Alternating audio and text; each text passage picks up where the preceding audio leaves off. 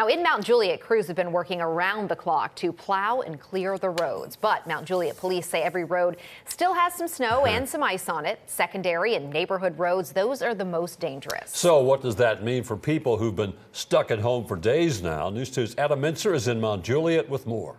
As we look towards the third day of this winter weather, restlessness is starting to settle in. Mount Juliet police say that many of the main roads and highways have been plowed, but so many of these secondary streets have not yet.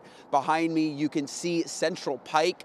There is still a significant amount of snow on the ground, and the bridges in particular are slick. We've been seeing people struggle to get up and down throughout the day. But with this restlessness comes the need for people to get out, to get more supplies, and get to work.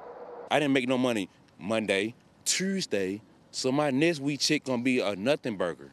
So what am I supposed to do? With his car unable to manage the icy roads, Terry worries once the warehouse he works at in Mount Juliet opens up again, he'll be stuck here. Look at this right here. Like, I don't get it though. Like, y'all do the main roads. What about the back roads? Mount Juliet police say they're aware secondary roads aren't clear yet and urge people to be cautious. Neighborhood roads are going to be the worst now because they don't get a lot of traffic and the snow plows don't make it on those deep neighborhood streets. But while understanding why the roads around him aren't a priority, Terry says people like him are being left behind, walking around to get supplies from nearby gas stations with no promises of getting any compensation for days he isn't working. If they know for a fact that we can't go to work, whoever it is should be like, I'm gonna pay everybody.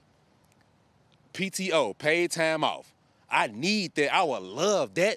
PTO. He says some of his friends have bosses wanting them to get to work, leaving people wondering is the guarantee of a full paycheck worth the risk of being another car stuck in the snow? And Wednesday, Mount Juliet City offices will be closed, as will police administrative offices in Wilson County schools. Reporting in Mount Juliet, Adam Mintzer, News 2.